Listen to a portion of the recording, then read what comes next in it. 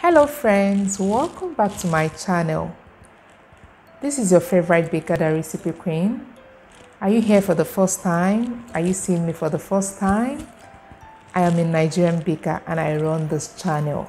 So please, please subscribe to my channel, like my videos, and don't forget to tap on that notification bell so that whenever I upload my videos, you'll be notified. You'll just get the alert that the recipe queen just uploaded a video. So I will appreciate that. And if you're a returning subscriber, thanks for the views, thumbs up, thanks for the the likes, the comments. I appreciate you guys so so much.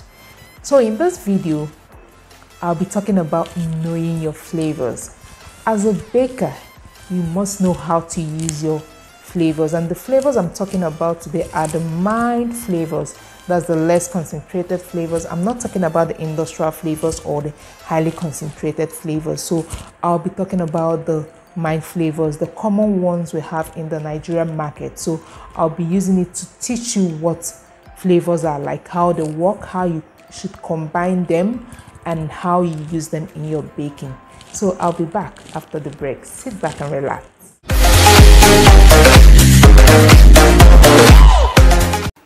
Welcome back. So, like I said earlier, we'll be talking about flavors, your baking flavors, and these flavors fall under um, is either you're using the essence or you're using the extract. When it comes to baking cakes in Nigeria, we have different flavors, and these flavors are grouped into four categories. The first category is the versatile flavors. Those one I also call them the friendly flavors. The second category is the harsh flavors. Those ones I call them the unfriendly flavors. And we have the purposeful flavors. Those ones I also call them the conventional flavors. Then lastly we have the dry flavors. So when it comes to versatile flavors, we have the vanilla, the butter flavors, then the milk flavors. Then under the milk, we're talking about the condensed milk, the buttermilk flavor. Then when it comes to the um, butter and flavors, we're talking about the butterscotch, the butternut, and all that. So I would say these three flavors are the most friendly flavors we have. The vanilla, the condensed milk, the butterscotch. These three flavors I mentioned earlier, they are so friendly. At times when you want to bake a sponge cake or when you want to bake a vanilla cake, you can as well mix vanilla with condensed milk with butterscotch, three all together and they will come out, the cake will come out fine. So you can play with these flavors and you're in safe hands, you're good to go. So uh, when it comes to flavors, just be mindful and know that vanilla flavor, butter flavors, and milk flavors are very friendly and they are versatile. So that is it about versatile flavors. Um, we'll be going into the second um, category of flavors, the ones I call the harsh or the unfriendly flavors. They are flavors like the almond. Almond flavors will work perfectly well when it comes to fruit cakes and almond cakes. So it's a very harsh flavor whenever you're baking with almond flavor um let me get my almond flavor. Let me show you what it looks like. So look at what an almond flavor looks like. Um this is the Rayner's brand almond flavor.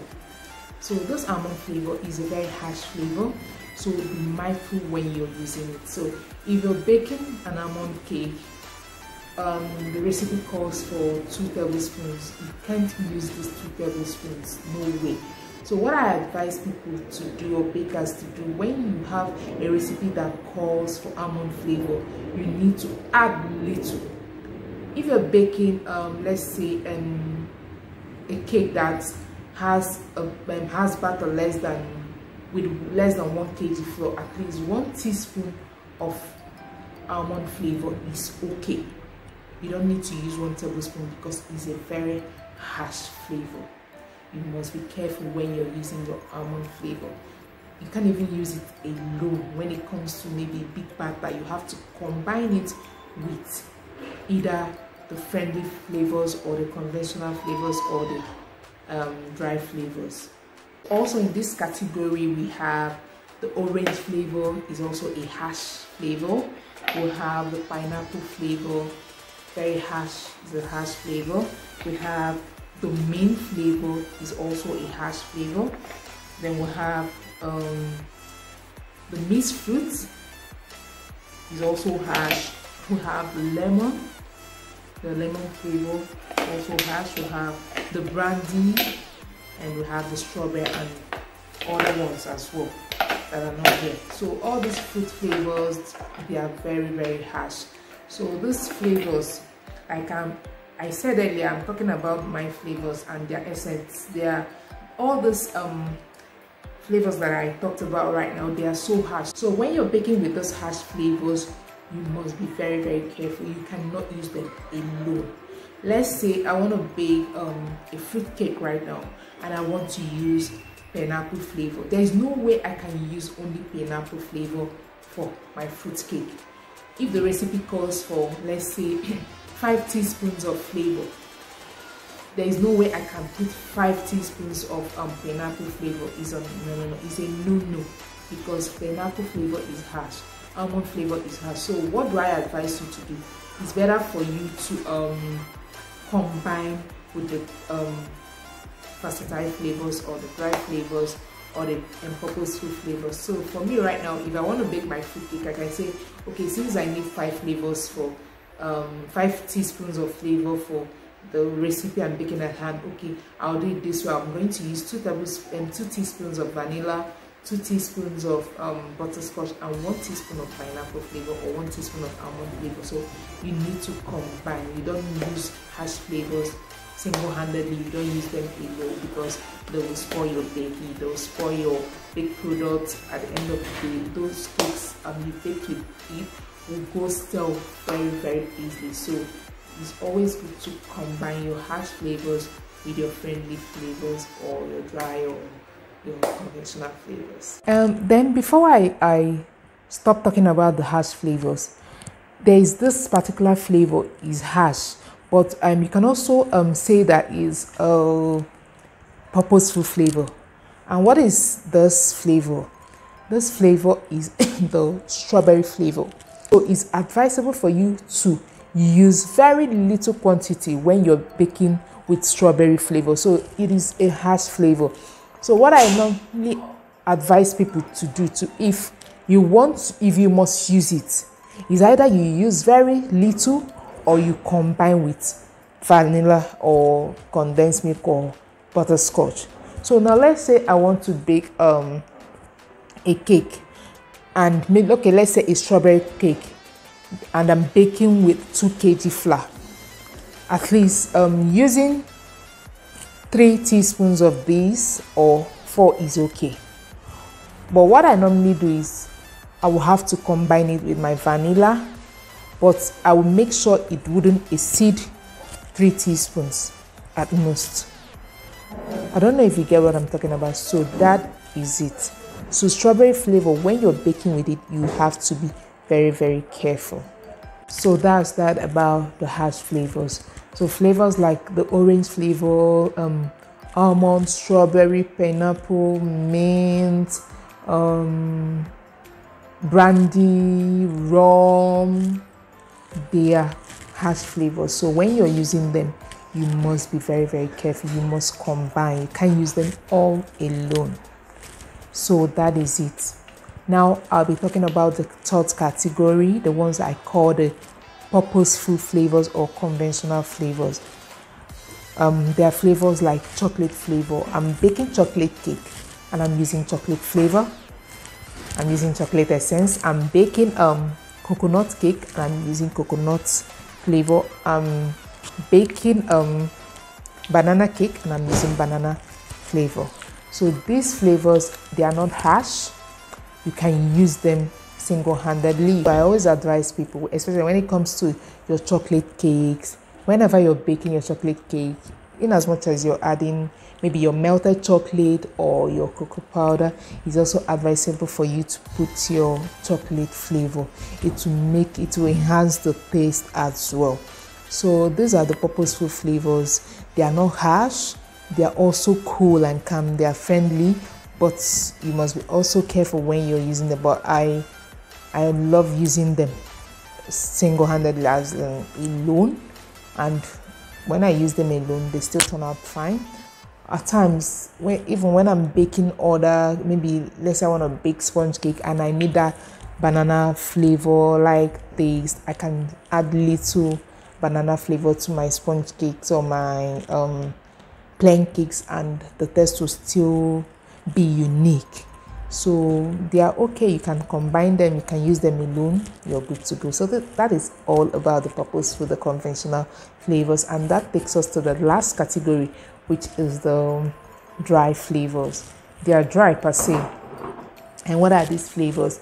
They are flavors like the cinnamon cinnamon you use them maybe when it comes to baking your cinnamon cakes your apple cakes your fruit cakes so cinnamon is a type of dry flavor. Then your all spices you can also call it the meat spices or is a dry flavor. Then we'll have the the nutmeg the ground nutmeg.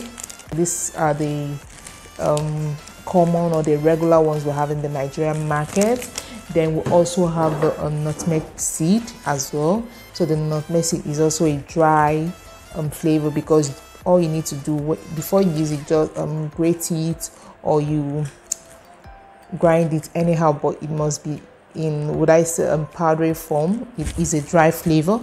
So sorry it's a dry flavor. So it's also a part of the dry flavor nutmeg. Then we'll have the cocoa powder also is a dry flavor then we'll have desiccated coconut. I don't have it here but desiccated coconut is also a type of dry flavor. So you use them for baking as well and you can you decide to use them alone. You can decide to mix. Is it depends on how you want it but when you're mixing just be careful. So a lot of bakers they complain that their cake goes stale easily. As in what i mean by going stale is that it spoils quickly maybe they bake and after two days or after a day the taste of the cake is like they don't understand. It's because of your flavors. How do you combine your flavors? So you have to be mindful. You have to know how to combine these flavors. Like if i want to bake a pineapple cake right now there's no need for me to start adding chocolate flavor into that um, batter. There's no need for me to start adding banana flavor into that batter yes i'll be adding my pineapple flavor but since it's a harsh flavor i can decide to mix with vanilla. So if the recipe calls for let's say i'm baking a pineapple cake and the recipe calls for four teaspoons of essence or um, extract or flavor all I need to do since it's a pineapple cake I'll now weigh this option I would like okay let me add two um, teaspoons of vanilla flavor and two teaspoons of pineapple flavor. I think I'm good to go. Or two vanilla two um, okay one butterscotch or one condensed milk together with one pineapple. So all these things you must put them in concentration and remember that also you're adding your normal pineapple um, either your the fresh pineapple or the dried one. So those ones will also complement to the taste of the pineapple cake. So you must put all these things into um, consideration. Just like maybe i want to bake my chocolate cake now right now. No need of adding strawberry flavor to that my chocolate cake batter. Unless i want to just say i'm baking a strawberry chocolate cake which um, at times they they don't they don't gel. I don't know if you get me. So that is that about knowing how to combine. You must learn how to combine your flavor. If you really want your cakes to last, you must know how to combine those flavors. You don't just because you want to bake it, just buy flavors anyhow. At times when I go to the market to um, buy things, I see some bakers they go there. Um, I want to bake sponge cake. I want to bake vanilla cake. Please give me almond, give me rum, give me brandy. I'm like, are you adding all these things into your vanilla cake? Uh, I'm like, wow. So at times, um, as a baker, these are the key things you must know. You must know the flavor that you're using and what you're trying to achieve, the taste, as in the combination, what is like. You don't just you want to bake a cake, okay, let's say fruit cake, you're adding more than 10 different flavors into that fruit cake batter. You're adding pineapple, almond, banana, um, vanilla, um, brandy, um, coconut you're adding everything. At the end of the day what do you want to achieve? What are you getting at? So please please know your flavors. Know your flavors. And when i'm talking about flavors their essence extracts today i'm not talking about industrial flavors. Mm-mm. today i'm just talking about this mild this less concentrated flavors that are common especially upcoming bakers they use them. So i want to enlighten them more on this so you must know how to combine your flavors so when you're baking your vanilla cake you can use vanilla and flavor alone you can just maybe if you want to give it that um would I say off taste that whenever maybe someone eats it, the person will like, what did he use to um bake? What kind of flavor did he use? They won't really feel they won't really know what he used. So it's like a twist. At times it's better because a lot of people won't really know how to um would I say how to mimic that your recipe. Each time they go out and they test cakes and they know ah this is this is recipe queen's cake. This is also person's cake because they are used to um, their flavors as in the taste of their their cakes are different. So at times it's always good to give your customers or other people you is it's always good to give them that twist. So when you, they're testing your cake they're like confused. I, I can't really get what she used in baking this cake. Are you sure this is vanilla cake. She used vanilla flavor. But at the end of the day if you trace it that baker used vanilla flavor. So it's also good to give it a twist. And when you're doing this twist, my dear, this twist is all about combining. Maybe just look for a little um, harsh flavor added to your friendly flavor just to give that twist. But if you're not sure of how you're going to do if you're not really okay with combining, just leave, use your friendly flavors alone, please. So that is it about um, flavors. Yes, we also have the milk flavors. Baking with whole milk. Whole milk is not really a flavor because that one is a base ingredient. Baking with evaporated milk is not really flavor, is a base ingredient. Baking with condensed milk, the real one, is not really a flavor, is a base ingredient. So you also need to complement those base ingredients with little flavor. That's your essence to give it a wow taste. So I think um, I'll be stopping here today because I've talked too much. So for now, I'll pause on this. I hope and I believe you learned something new today. So when it comes to flavors, just have in mind we have the versatile or the friendly flavors, we'll have the harsh or the or the unfriendly flavors, then we'll have the purposeful or the conventional flavors, then we'll have the dry flavors. So that is all about flavors. So in your bakery, in your kitchen, wherever you bake, do the um also would I say do the practice, keep learning how to combine your flavors and how they work for you, but be mindful of the kind of twist you're going to give people out there so your cakes don't really spoil their day. So um thanks for watching and do stay blessed. And before I leave, please if you've not subscribed if you're watching me and you have not subscribed what are you waiting for? Please support your girl. Just that subscription button you don't need to pay to just tap on it. It's free just tap and just subscribe.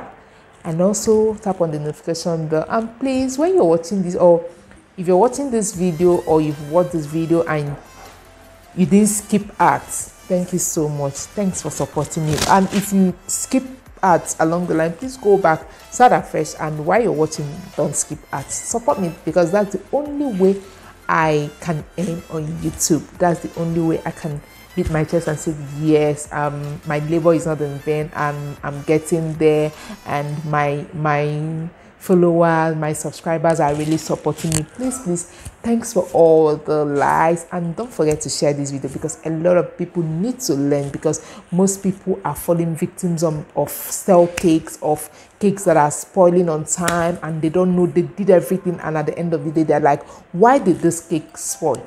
Because she did not combine your flavors very well or maybe you used excess industrial flavors I'll be talking about that some other time, but not today. So I believe I've made sense. I believe I've taught someone something new today. So thanks for watching and bye.